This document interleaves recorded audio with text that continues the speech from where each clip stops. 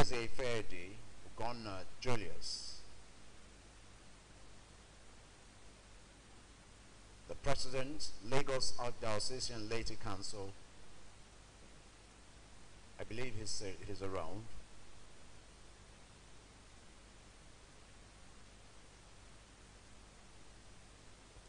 Most welcome. Shall give a standing ovation to acknowledge the presence of our Chief Shepherd, His Grace, Most Reverend Dr. Alfred Adewale Martins. And let's accord that uh, with a round of applause and make it very resounding, please.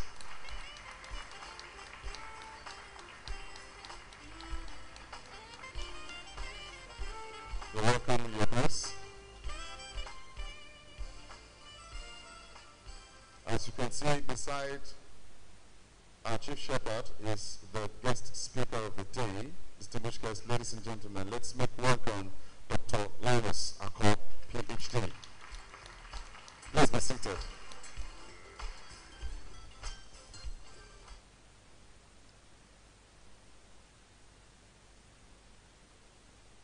Just as we have been told, we have very well distinguished personalities here today. And may I once again request that we please give a standing ovation to acknowledge the presence of our Archbishop Emeritus, His Eminence Anthony Cardinal Olubunmi Okojie. Can I get a resounding applause, please? Make it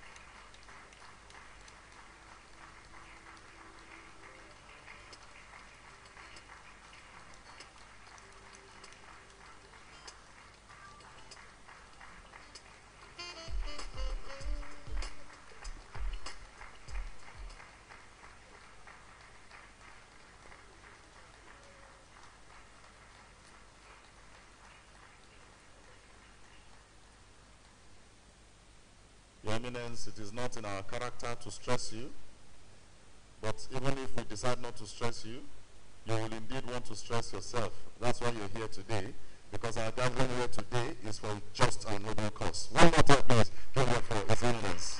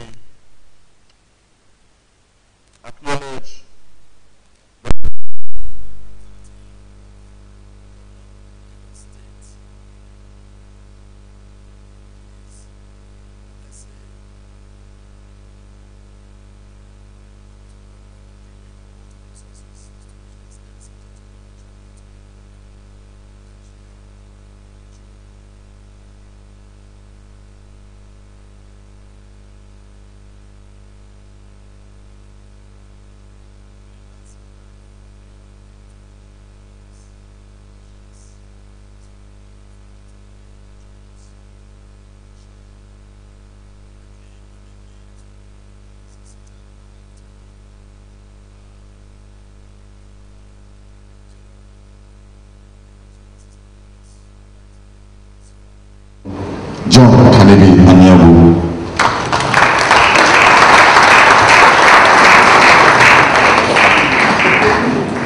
Also on the high table, permit me to welcome very Reverend Monsignor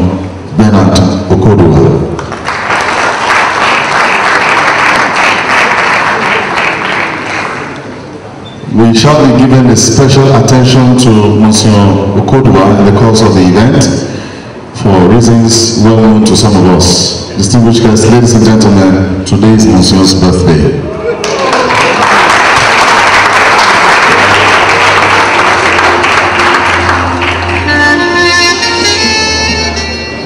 I hear wishes said happy birthday in advance, happy days in advance, happy that in advance. When it is fully paid, I don't know. It is always in advance. Uh, we have on the high table Monsignor Obayomi. Can you please put your hands together for me? He's the Dean of Ikeja Deanery. We also have uh, Monsignor, who is always looking calm and he looks quite younger than his age. I have the uh, permission to say that.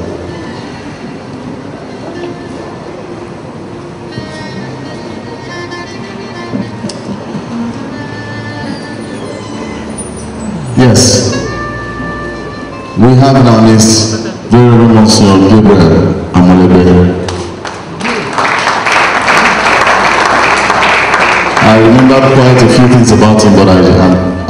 say it, but I won't say them now. Probably after the event, I'll say it.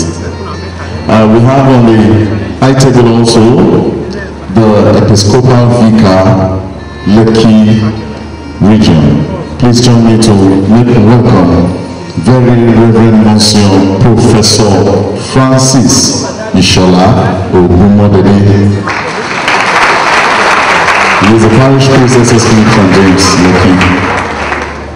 Uh, we did announce before, I will just very quickly reiterate, representing the Bishop of Abeokuta Diocese. We have in our midst very Reverend Father Emmanuel Oriyomi.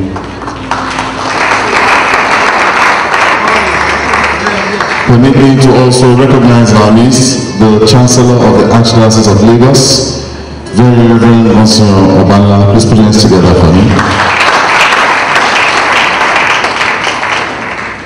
Yes, uh, we will continue to recognize our distinguished guests, our fathers in faith, as the event progresses.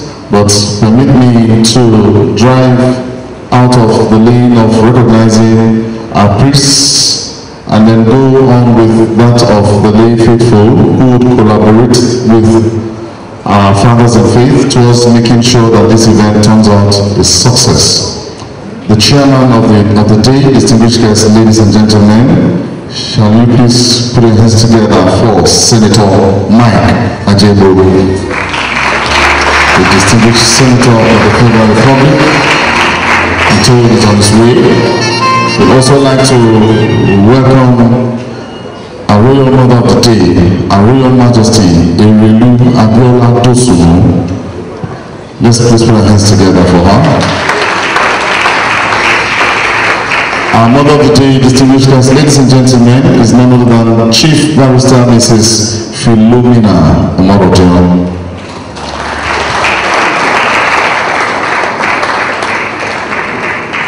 And for the records, this one I will call because I know she will not sit. She's amongst those persons cut from the fabric of not sitting in one place and always moving about, trying to ensure that everything turns out well. The chairperson planning committee, who is the immediate past president of the Laity Council Catholic Archdiocese of Lagos, please join me to welcome Mrs. Chizude Geraldine Ibanugo.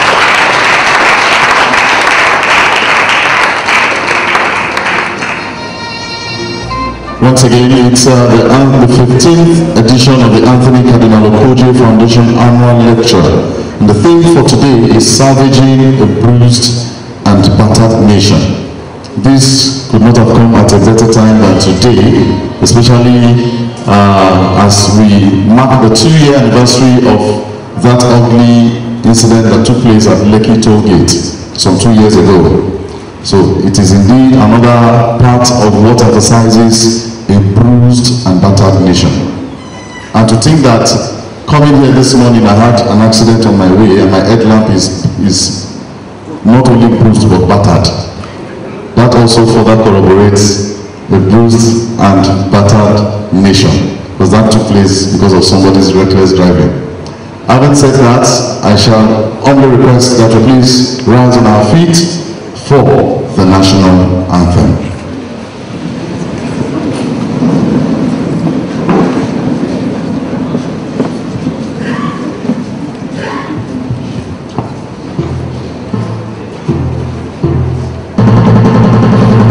Please, apologies, apologies. We shall have the opening prayer before the national anthem.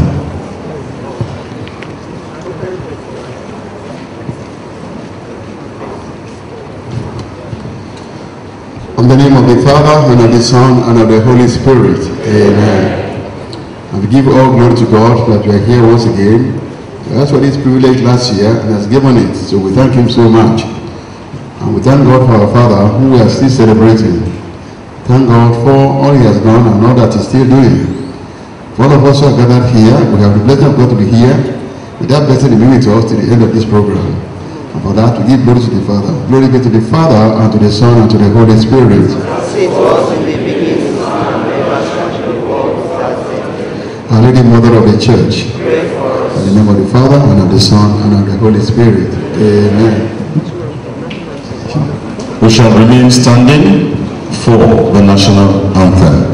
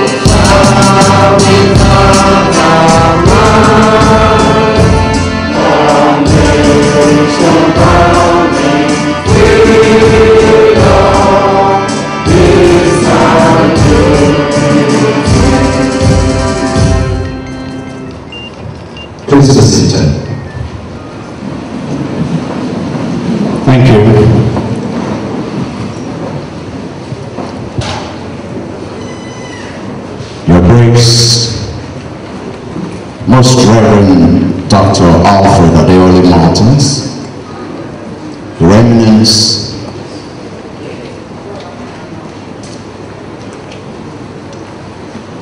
distinguished members of the Hunt Table,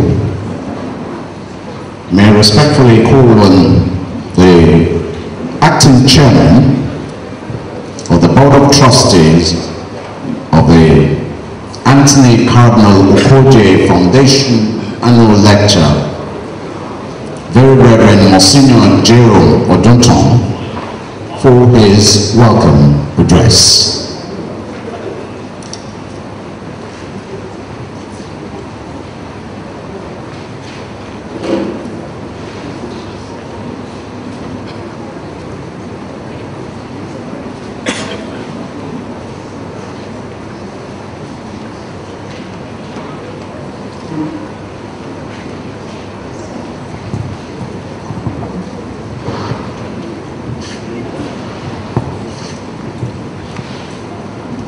Distinguished guests, ladies and gentlemen, would like to acknowledge the presence of the gentlemen of the press, especially our own dear Lumen Christi Television Network. Can we please put our hands together for them?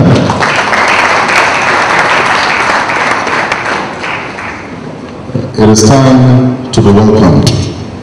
And who does this better than the acting chairman of the foundation that has gathered us here together today to achieve a noble cause. I'm talking about the acting chairman, Anthony Cardinal Okojie Foundation Board of Trustees. If your hands are not too busy, please join me to welcome to the podium Very Reverend Monsignor Jiro Oduton.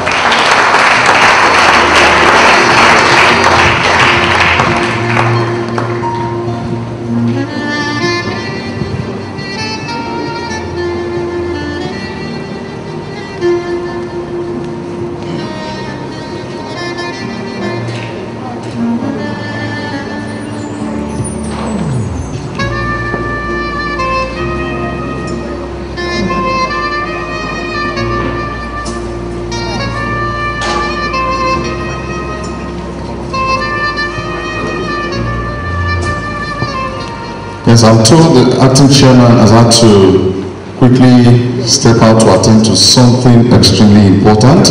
And so standing in for him is the director of the Lay Apostolate Center, Catholic Archdiocese of Lagos, who is also the chaplain, Laity Council, Catholic Archdiocese of Lagos. Please put your hands together for Very Reverend Father Isaac Ibe.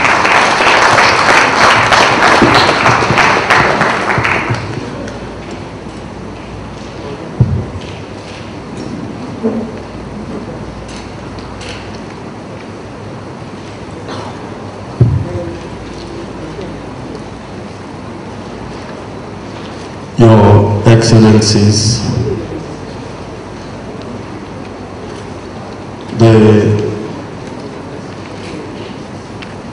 speaker of today, reverend fathers, reverend sisters, our invited guests, brothers and sisters, I stand here on behalf of the acting chairman of the Anthony Cardinal Okojie Foundation Board of Trustees, who is unavoidably uh, absent at this very moment. is a little bit indisposed. So I want to welcome each and every one of us on behalf of very very Monsignor Jeremy Oduto. It is with great honor and joy that we thank God the Almighty for making our gathering today a reality. May His name be praised, honored, glorified every day of our lives, both now and forevermore. The theme for our gathering today is salvaging a bruised and battered nation. As a nation, you all will agree that we are bruised we are battered from every aspect of our lives as a people. There is no solace, it seems, for us. Our social, economic, educational, political, and religious lifestyles are daily bewildered by threats, stress, and frustration. The question, I'm sure, that is in the heart of every Nigerian is, can we be salvaged. Well, that is a very, very big task, I believe, for our guest speaker. And I think that we are left at the mercy of God if we do not find an answer to this very big question. Dear, my dear revered gentlemen and ladies your presence here today attests to your conviction that with God on our side, our victory is assured. May our hope never be in vain through Christ our Lord. Let your voter's card, let your conscience rather guide your voter's card in making your decision come next year at the polls in the 2023 general elections as we launch and donate today the Anthony Cardinal Foundation, let us remember that the one for whom we are all gathered in his honor, His Eminence Anthony Cardinal is ever firm and resolute. He is a principled father of the church, as we all know him to be. Therefore, the scholarship which we know is for indigent students, those who we know are very, very intelligent but have very little means to support their education is the reason for which we carry out our launching once again as we do every year.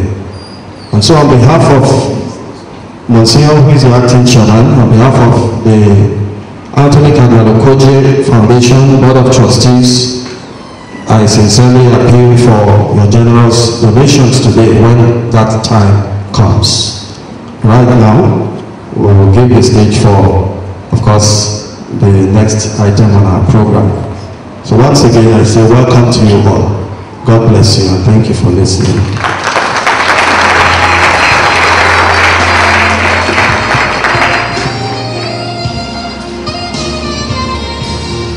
We do better than we have just done?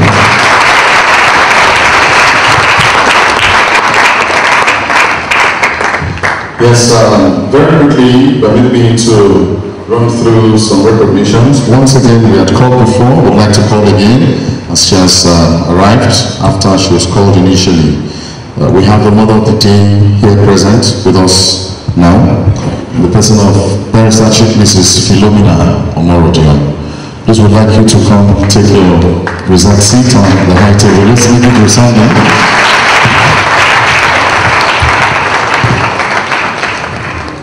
We still have a host of others we're expecting.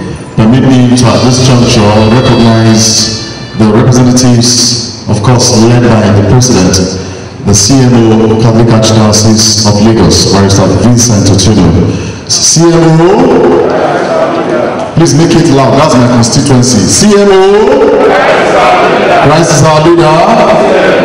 You're welcome, our fathers. Through Mary, our mother, We'd like to recognize our niece, uh, the members of the CWO. I can see here Lady Abulime, the coordinator, CWO Maryland Deanery. Please let's put our hands together for her. Thank you very much, mothers. And uh, we have here with us, do we have the representative of CYON for God and for youth? For God and for youth. Okay, they are, they're the ones uh, running the errands. CYON, you're welcome. With children all over the world. Let's see them, let's see them, please. Stand up for recognition. Oh, okay, these are the children.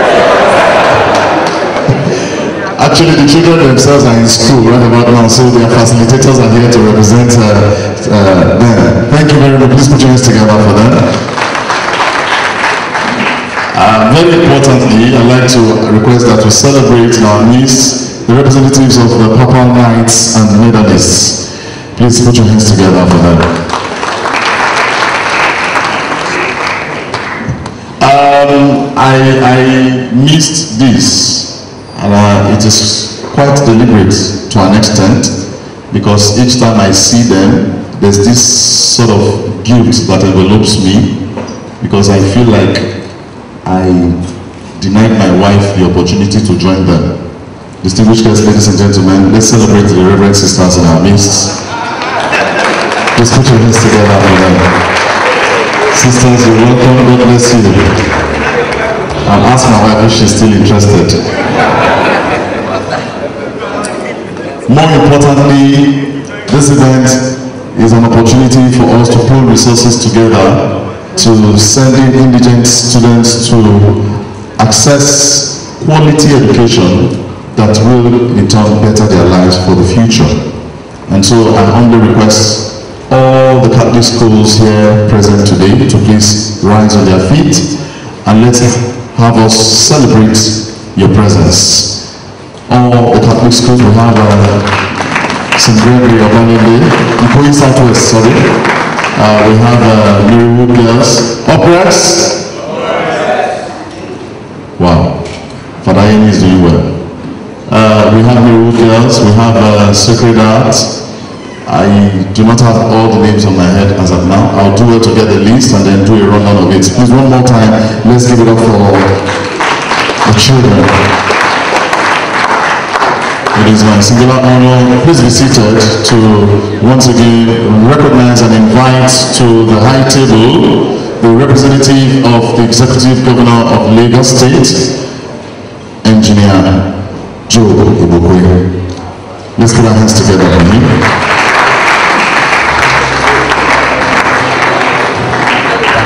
That's, that's, that's the man that is quite popular than he looks. You're welcome, sir.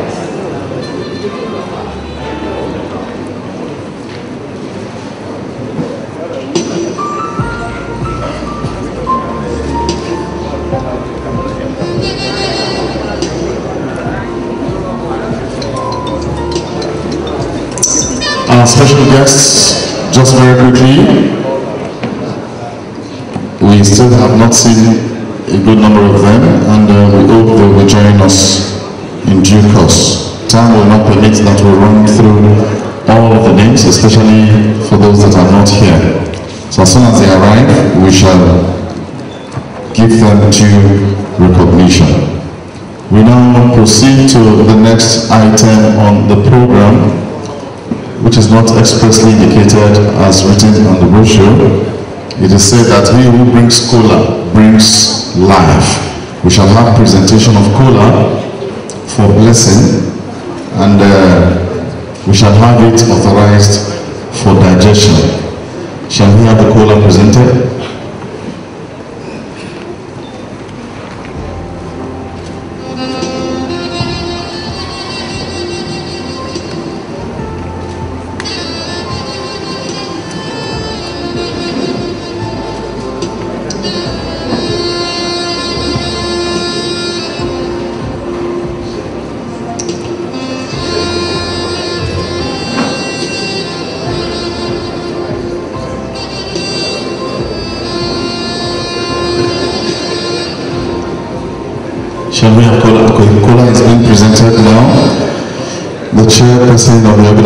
Organizing is bringing Kola forth. Since she carried Kola like when you go tree.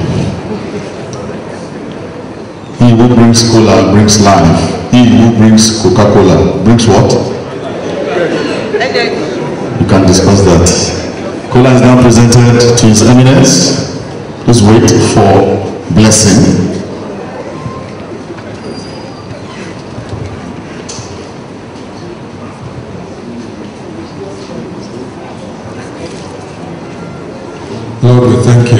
For this cola, sign of our unity, sign of our friendship, sign of the love that we bear, the love that we have for you and have for one another. Bless this cola, O Lord.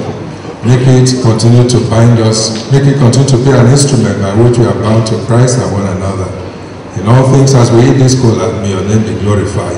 In the name of the Father, and of the Son, and of the Holy Spirit. Amen. You will observe that His Grace has just blessed the cola, but there's one aspect that He cannot do or perform. When cola is presented, it is blessed and broken. And because our chief shepherd, of course, is a priest, they don't break cola, they only break bread during Mass. So breaking of cola is for the lay faithful. And so the cola, having uh, received God's blessings, shall be passed on to we the lay faithful for breaking and digestion. And uh, yes, and when I say breaking, breaking is in different categories. We shall practically break it from our pockets. And I'm so happy the representative of the executive governor is a red cap chief, as obviously uh, seen. And our fathers in the church, the CMO, they are well ready to drive us through this route. May I only request that we have the CMO president as the first father and the archdiocese. Please rise up to this billing and lead us through it. Barrister Vincent Ochoa. I know this is taking you unawares, but that is how responsibility takes fathers unawares. Because after you pay school fees, at the point of trying to recover, you realize they're already on midterm break. And another school fees is knocking on your door. So please take, to the, take the cola to the CMO table. And when I say CMO, it is not only for men on the CMO uniform. Remember the proceeds of this event is to be channeled towards educating indigent students. Not necessarily Catholics, but humans like us. Do we have POS? We have POS, we have ATM machine. If they need complete bank, we have it available. Fifty thousand. Fifty thousand naira for the break of cola. Thank you very much, our fathers. You never disappoint. Thank you. Now for the records, women don't break cola, but they support those who break cola. So mothers we are appealing to you to lend your voice to this noble cause, please. Yes. Um, shall allow the executive governor's representative to take his time. He's just arriving. He's here to recover from traffic. Please feel relaxed. And then let's go. We have the Papal Knights. We have members of the Laity Council. In no particular order, please we can identify with this. And we want to make it as brief as possible.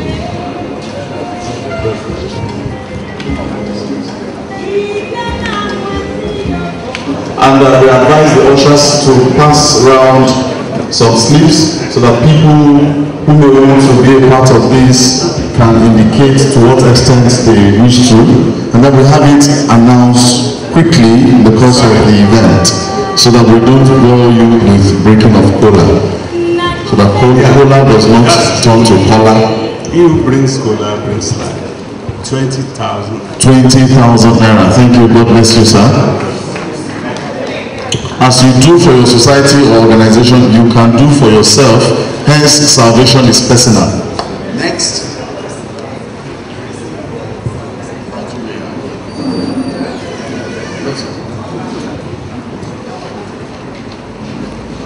Please. Quickly.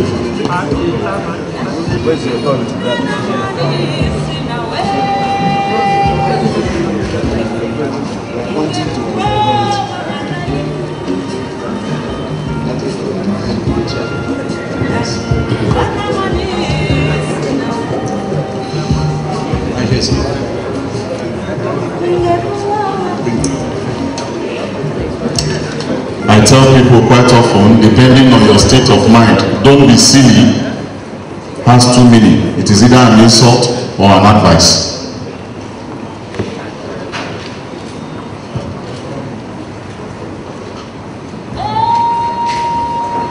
Please, if you have your, if you have gotten your PVC, can you please indicate if you have your PVC? Please indicate. Catholics, you have your PVC. Indicate this. Thank you. Please put down your hands. If you have your voter's card, can I see you indicate? I'm asking because I have the both. Thank you very much, sir. I have both. Mom. So while the cola breaking is ongoing on the background, we appeal to your conscience to please try to be a partaker of this exercise. We shall move quickly to the next item on the program. And if the women are ready, we shall have them come up now and do their welcome dance. Confraternity of Christian Mothers, Catholic Church of Divine Mercy. Are they ready? All right, they are not ready, so we move on to the next item on the program. And please, we would like the cola to be done possibly in a Bluetooth format because of the next item on the program. We wouldn't want cola to be a distraction. Please, you can do an SMS, relate to us almost unnoticed because we shall all sit, relax, and be very attentive to listen to the voice of our chief shepherd as he gives his keynote address. Permit me to welcome to the podium His Grace Most Reverend Dr. Alfred Adewale Martins, the Metropolitan City of Lagos. Make it resounding, please.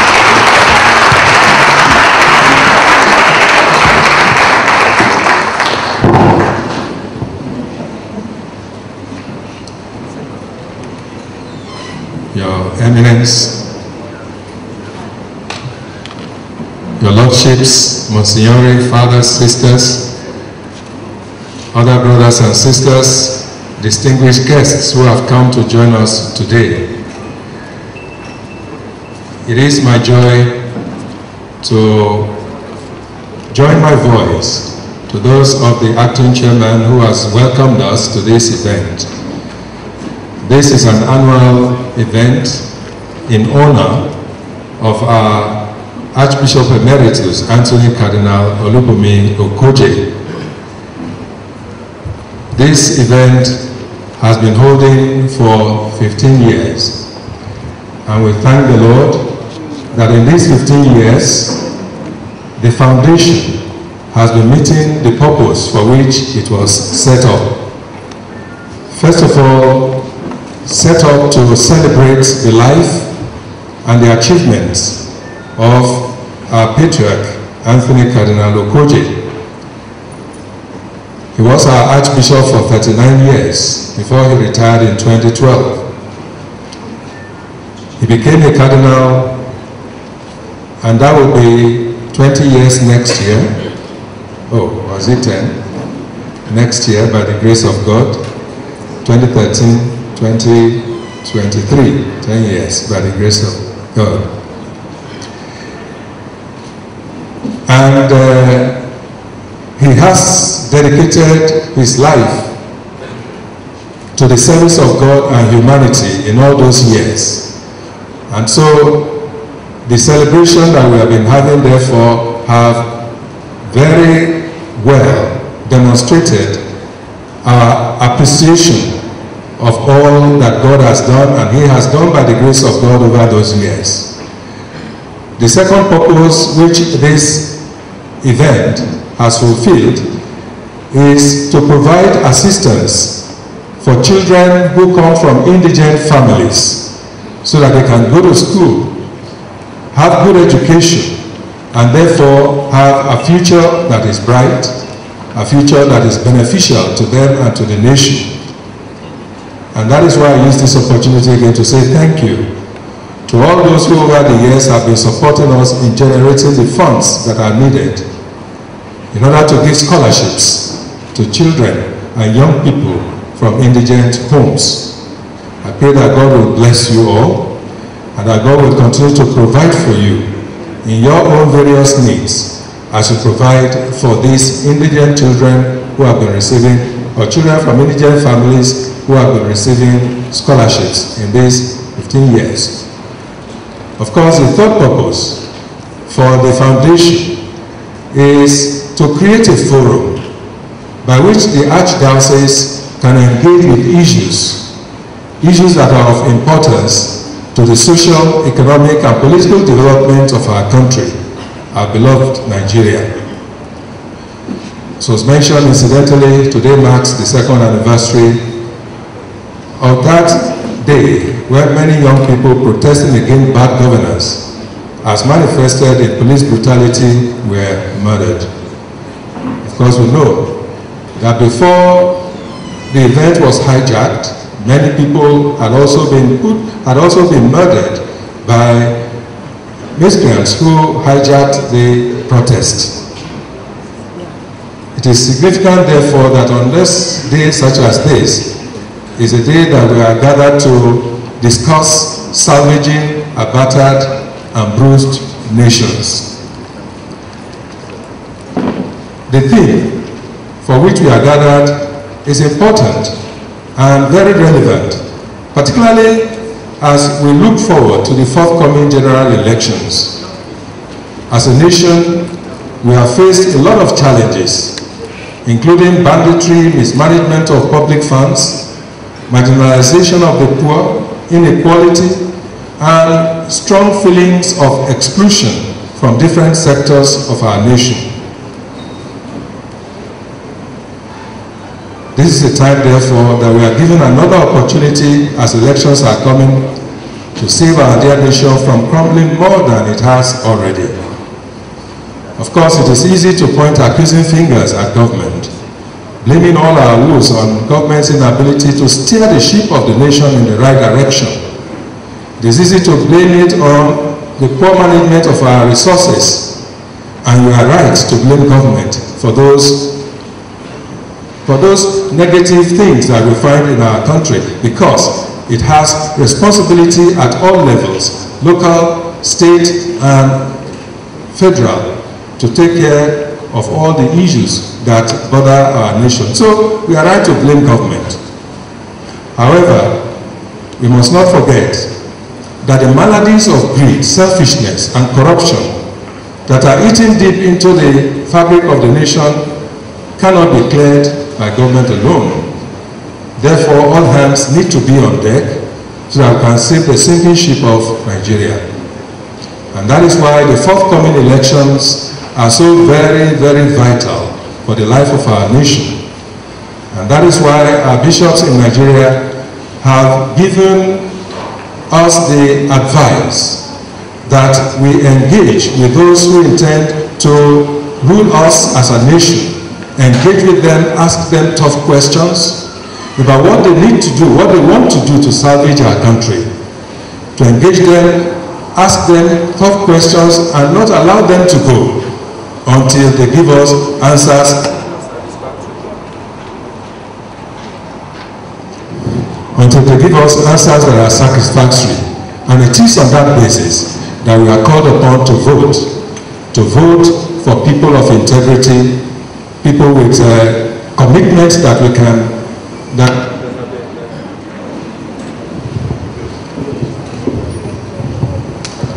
people who have shown commitment to common good and people who have demonstrated ability to do the right things for people and for the common person. I urge you, all of us, Christians and people of goodwill, to bring the values of Christian, Catholic, social teaching to bear on the politics that is done in our country. We must remind ourselves as Catholics of our obligation to be involved in the political activities of our country.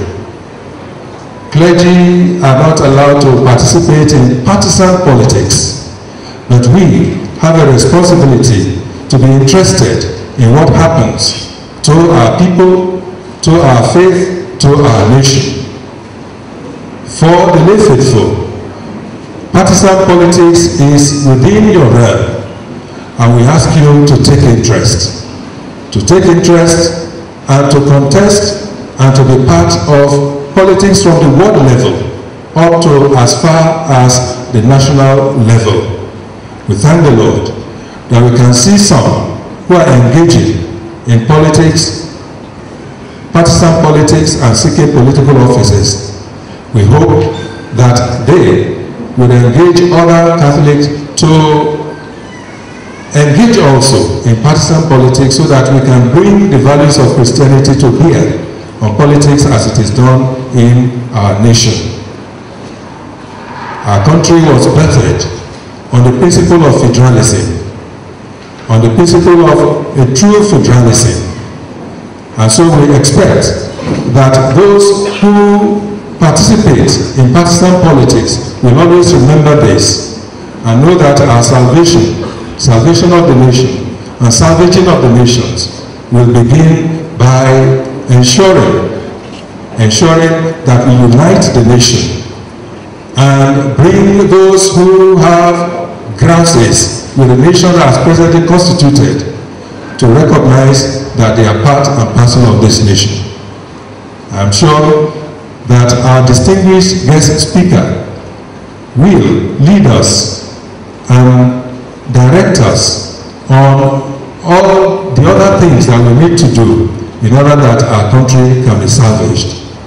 So with these words, I say welcome again to this edition of Anthony Cardinal Olubunmi Okojie Foundation Lecture. We pray that it will be a fruitful one and that at the end of it, we all shall be fired, fired in zeal to do that which is necessary for the salvaging of our country, Nigeria. Once again, warm welcome and God bless you.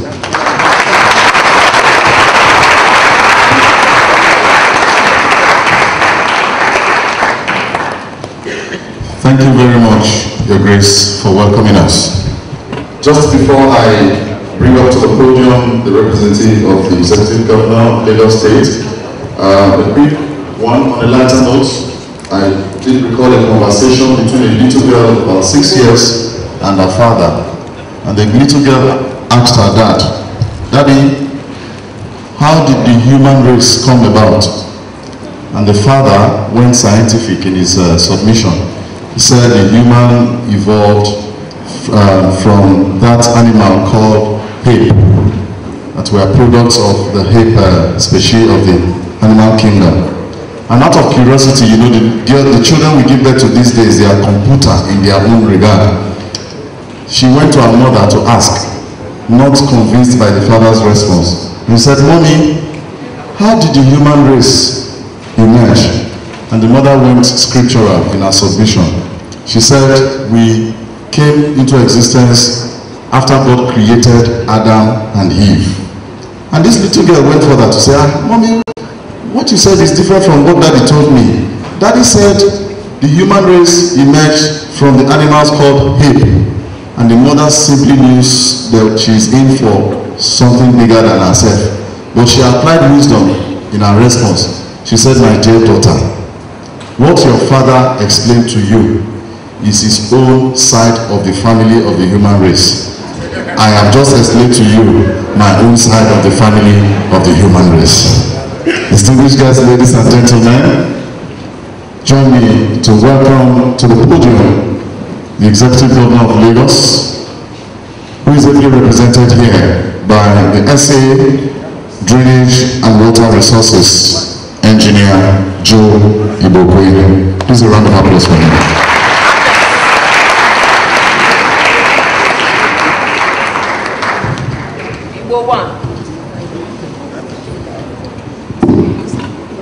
Good morning, everyone. His Eminence Anthony Cardinal Okojie, Archbishop of uh, Archbishop Emeritus, Catholic Diocese of Lagos.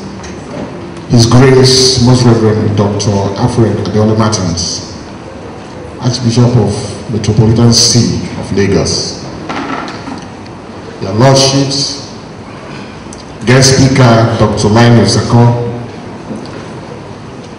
Ladies and gentlemen, ladies, society, students, gentlemen of the press. This is a good message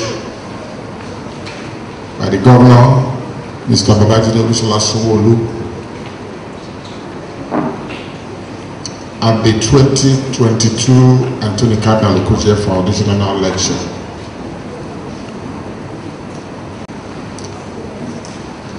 Now, I am delighted to join the Board of Trustees and distinguished ladies and gentlemen at the year 2022 Anthony Cardinal Okojie Foundation annual lecture and at raising awareness of the value of the gospel, immortalizing the legacy of person, of the person of His Eminence, Anthony Cardinal Okojie, Emeritus of Lagos, as well as raising funds for the foundation's activities geared towards financial support for indigent students in secondary schools and tertiary institutions. I'm pleased to acknowledge your laudable achievements in areas of education. Your commitment ensuring that every child with your, with your sphere, within your sphere of influence is given opportunity to be educated and highly appreciated, is highly appreciated and commendable. The topic of focus this year, and I quote, salvaging a bruised and battered nation. Seek to analyze and bring to the fore the resultant effects of the challenges that we are experiencing as a nation.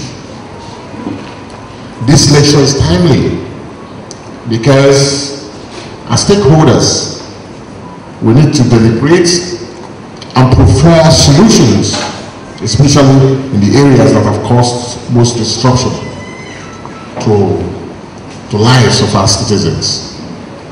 I'm very confident that the guest speaker of today, Dr. Linus Akko, an erudite scholar in the finance tradition, and an expert in the field of sociology would do justice to the topic and help us to sharp new ways of mitigating the social impacts of crisis in our, in our state, in particular, and our country as a whole. Apart from the global economic crisis the world is experiencing, largely due to the effects of COVID-19, and escalated by the Russian-Ukraine war, our time has an addition to this, been grappling with ethnic, ethnic issues, ethnicity issues, terrorism, and insecurity issues. And then with our infrastructure, issues. I always get a sense of peace and confidence when I'm invited by the church to rub minds on issues that concern the welfare of the citizens because I am assured of their committed support and of, of their committed support to our administration towards achieving the Lagos of our collective desires and dreams. As a government, we are aware that the church is a primary point of contact that has an intimate relationship with the people. And that is why we deem it crucial to maintain an intimate relationship with them so as to gain better insight on the impact of governance. As a responsive and responsible government, we have improved operational capacities of security agencies in the state and can confidently say that Lagos is safe and more secure. We have commissioned newly constructed and equipped police stations in the Ibeju-Lekki area of the Lagos state, as well as renovated and upgraded equipment in the Department of State Security Office at Alimosho local government area.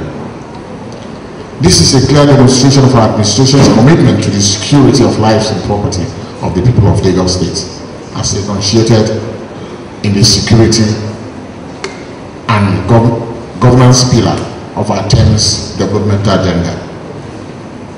It is a well-known fact that ethnic discrimination is a bane to the development of any society. It can easily, it can easily eat through the very fabric of society and hinder the people from flourishing. I'm proud to state that religious communities have continued to use their good influences to encourage people to shun discrimination in all its ramifications and always sue for peace. That is why Lagos State has maintained a leading position in promoting at all levels and spheres of life, and promoting peace at all areas and spheres of life. And we will not relent in our efforts to promote peaceful coexistence and inclusiveness in every strata of our society. In addition, our administration has continued to work tirelessly to improve infrastructure in, in various sectors across the state. The dividends of which we will soon reap abundantly. Let me at this juncture commend the Board of Trustees and the Planning Committee of the Anthony Okojie Foundation, Anthony Cardinal Okojie Foundation, for sustaining the dream of the founding fathers in ensuring that this annual lecture continues to hold and remain relevant in governance. I think, and thank you for keeping in step with our administration and being a key feedback mechanism for the people and the government. While looking forward to the outcome of the lecture, it is my sincere prayer that all our efforts towards the success of, of our country will be crowned with resounding success and prosperity. And posterity. And posterity will acknowledge the gains we will achieve. I thank you for listening. And finally, I was here a few years back on the same assignment. And um, I know that governor placed some money, and I know that I brought the money here. Uh, he has asked me again, since it has to do with education and building our society, to make a pledge of five million on behalf of Lagos State government. I thank you for listening, and I hope that at the end of the day, we'll walk away with so many um, advice that will push our nation forward. And I hope Nigeria will be great again. Thank you so much.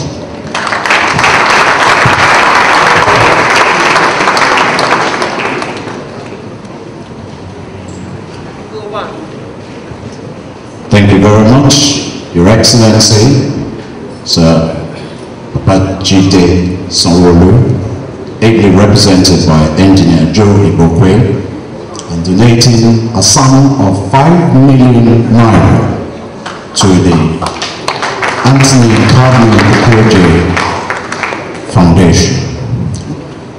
We thank you.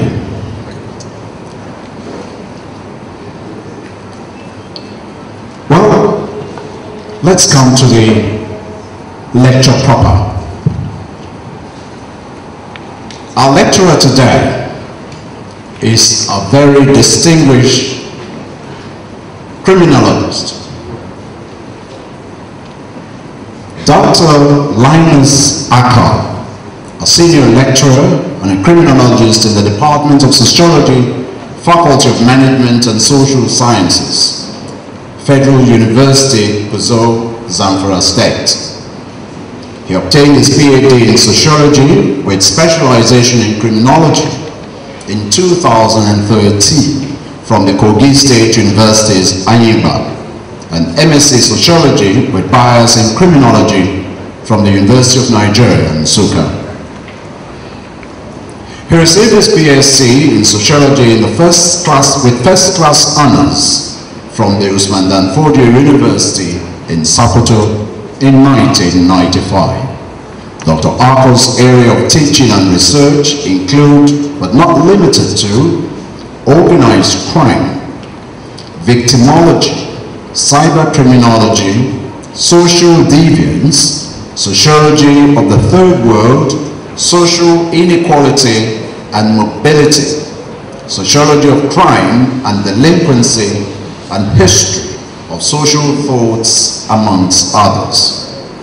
He is the chairman of the Faculty Seminar and Workshop Committee of the Faculty of Management and Social Sciences, Federal University, Gusau. Dr. Akol was on the teaching staff of the Kogi State University, Anyigba, from 2002 to 2017.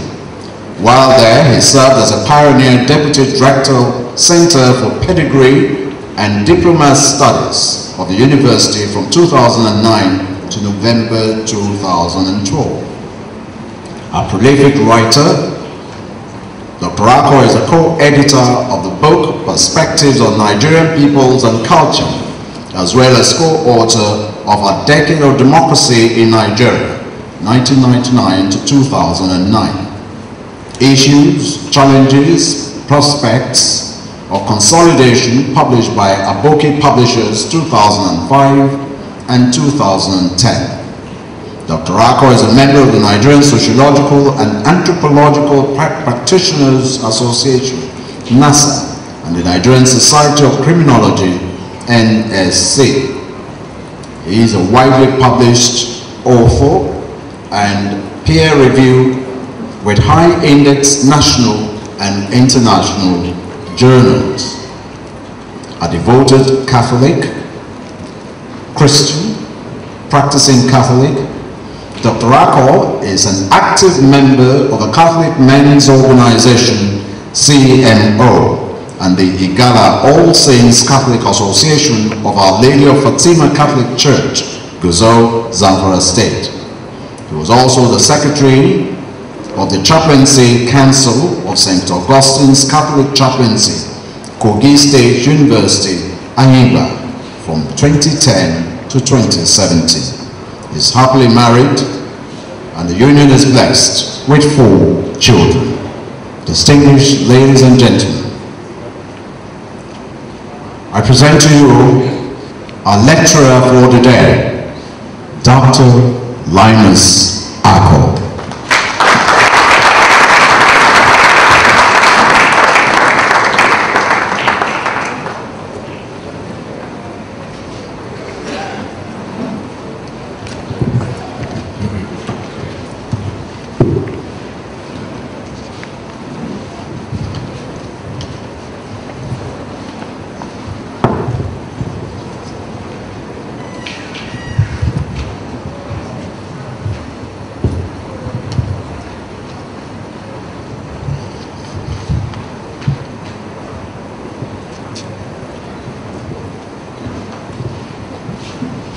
His Eminence Anthony Cardinal Okojie, Archbishop Emeritus. His Grace, Most Reverend Dr. Alfred Adewale Martins, the Archbishop and Chief Secretary of the Lagos Metropolitan See, the Chairman and members of the Board of Trustees of the Anthony Cardinal Okojie Foundation Lecture, members of the Planning Committee of the 2022 edition of the Anthony Cardinal Okojie Foundation Lecture, the chairperson and members of the Executive Committee of the Lagos Archdiocesan Laity Council, my lords, and temporal, all bishops here present, the priests and the religious, the chairman of the occasion, as well as the chair lady of the occasion, distinguished invited guests, gentlemen of the press, ladies and gentlemen. I bring you good tidings from Our Lady of Fatima Catholic Church, Gusau, Zamfara State. Whenever the name Gusau is mentioned, people feel a sense of trepidation because in the last five years, that part of the country has become the epicenter of terrorism, abduction, kidnapping, hopelessness. But I want to assure all of us that the body of Christ is very strong and alive in Gusau, Zamfara State.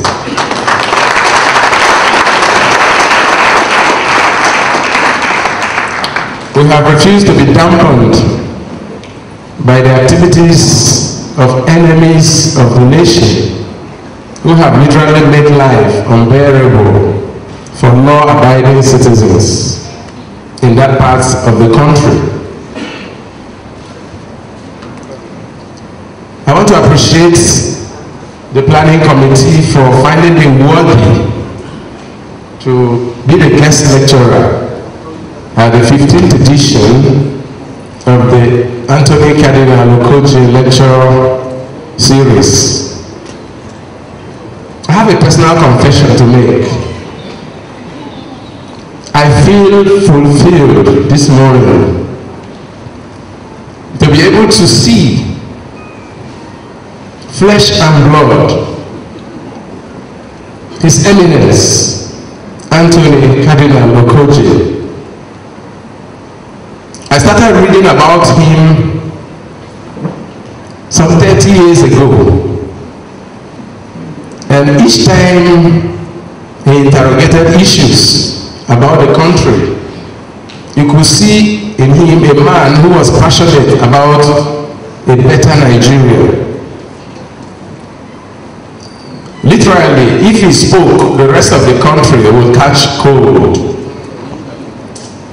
His interventions were not meant to denigrate any individual or group, but they were meant to set the record straight and push this country to the frontiers of development, unity, equity, and social justice.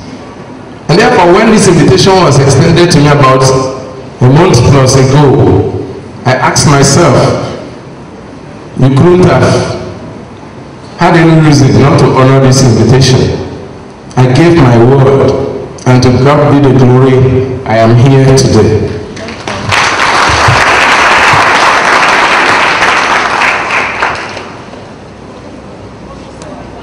I am going to talk on the theme for this lecture, which is Salvaging a Bruised and Battered Nation. From the theme, you will agree with me that all is not well with Nigeria as a nation.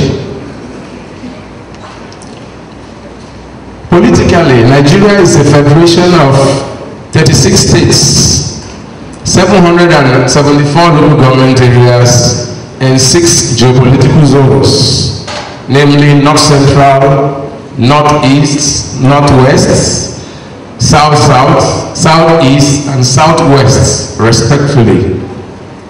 By current estimates, the country's population is put at about 218.5 million people. Nigeria has four groups, majorly the Yoruba, the Hausa, the Igbo, and the Fulani, who make up the third of the country's population. There are over 300 ethnic groups in Nigeria. Apart from the four that I have mentioned, we have some other uh, groups like the Koi, Edo, Ibibio, Idoma, and the rest of them. The importance of Nigeria lies in the fact that one in every six black person in the world is a Nigerian.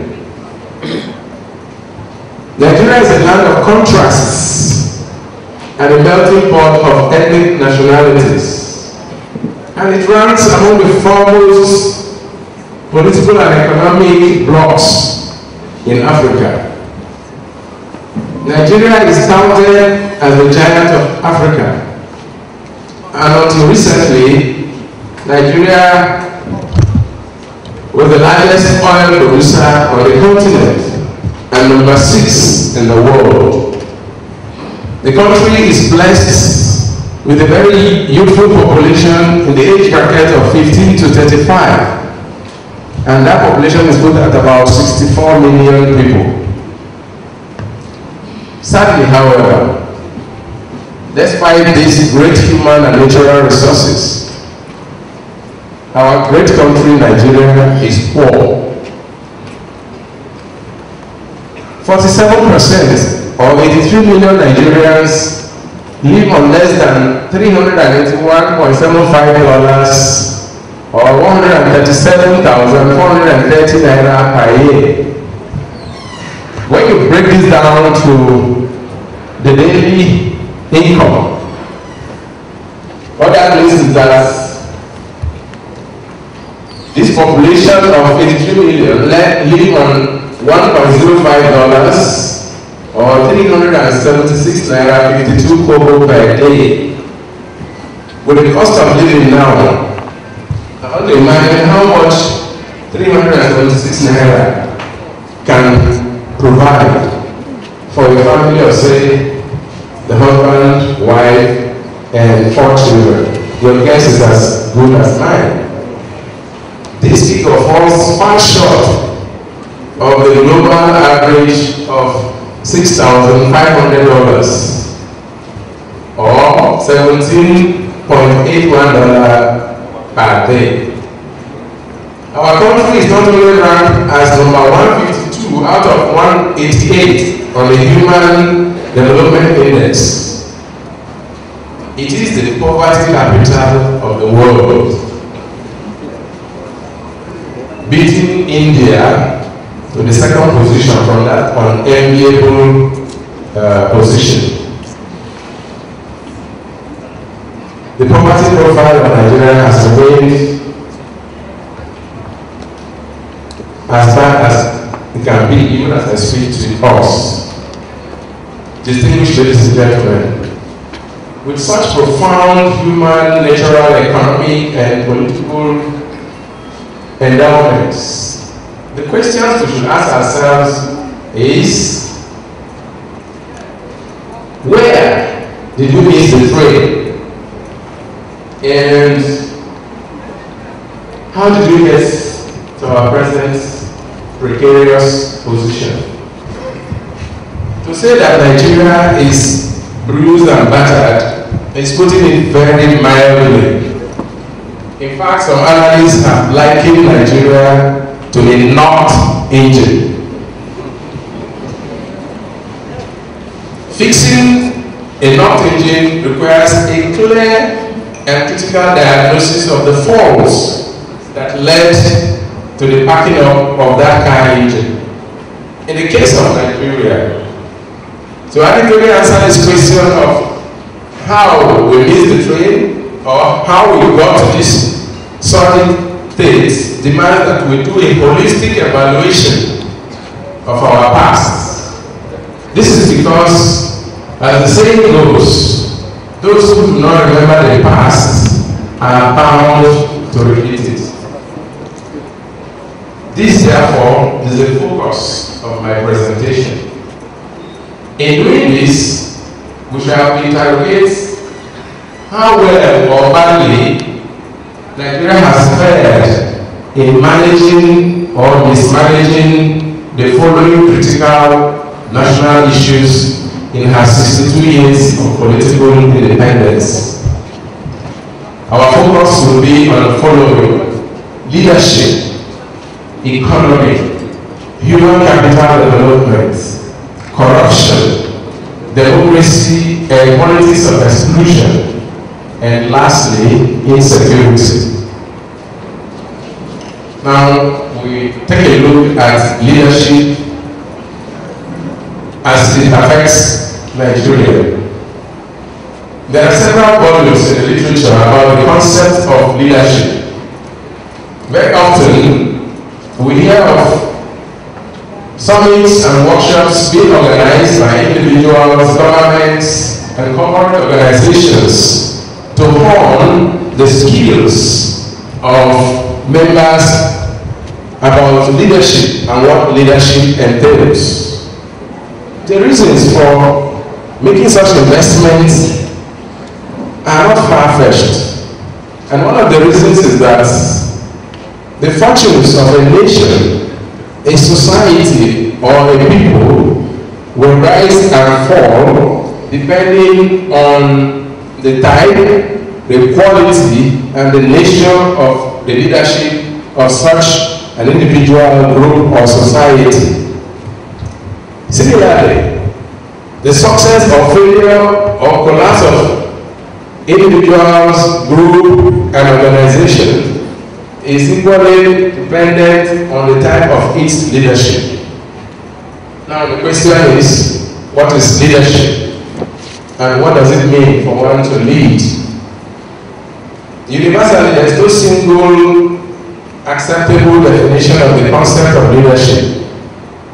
However, notwithstanding the lack of congruence on the concept, we shall pick one or two definitions of leadership as provided by scholars.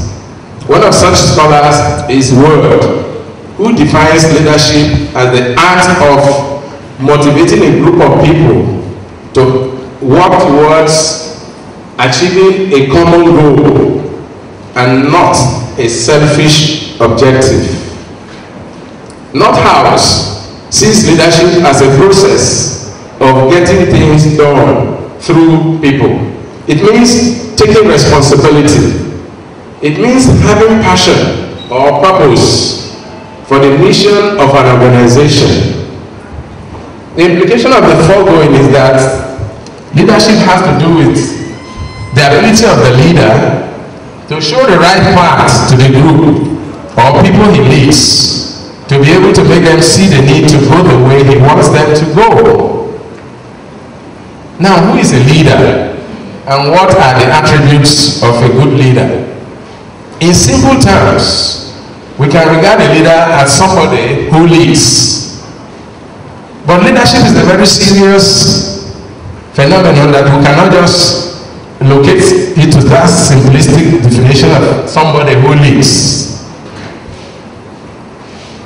Chill, for instance, says a leader is one or more people who select, equip, and influence one or more followers who have diverse gifts, abilities, skills, and focus, and focus the followers' gaze on the organization's mission and objectives, causing the followers to willingly and enthusiastically expend spiritual, emotional, and physical energy in a concerted and coordinated effort to achieve the organization's mission and objectives.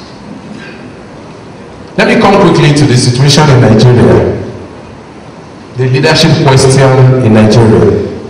As we noted in the introduction, Nigeria is a land that is literally flowing with the proverbial uh, milk and honey. Nigeria is the envy of many nations because of our enormous human and material resources. Sadly, however, despite this humongous endowment, the country is rated as one of the least developed in the world.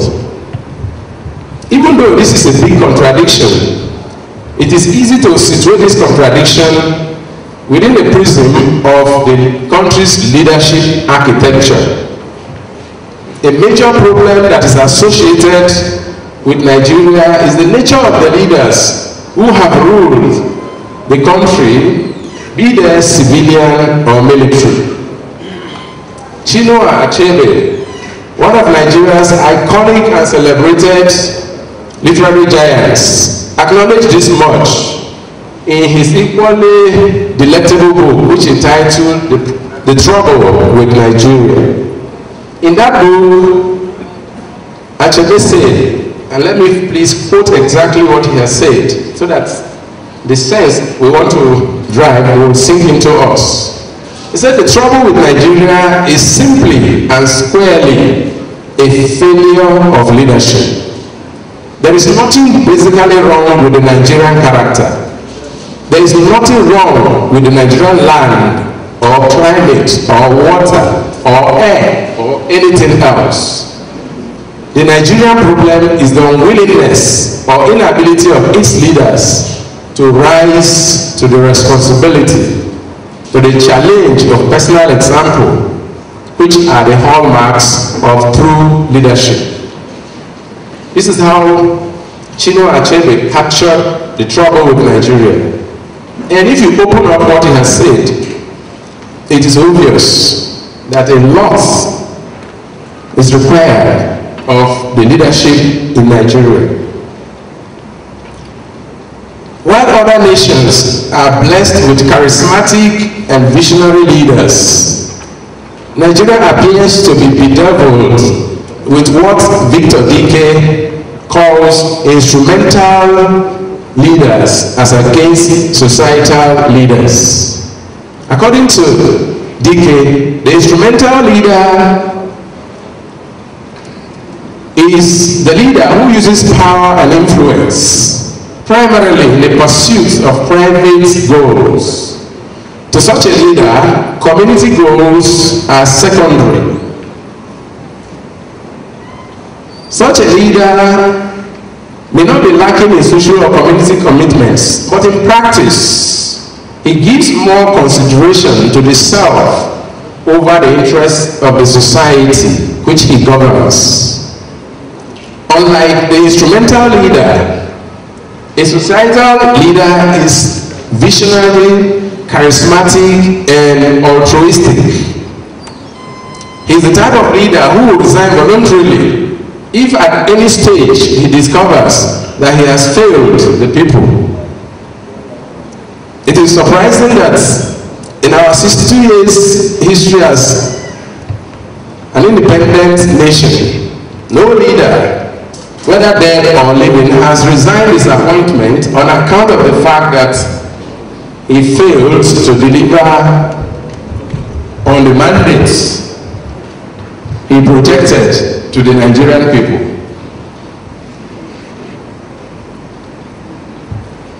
However, in Africa, we have a shining example in the late Nelson Mandela, former president of post-apartheid South Africa, who told his people that he was going to rule for a term of five years.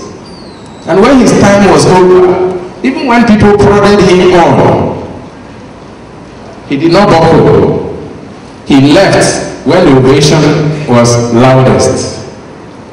And today is a shining example of what leadership represents and should be.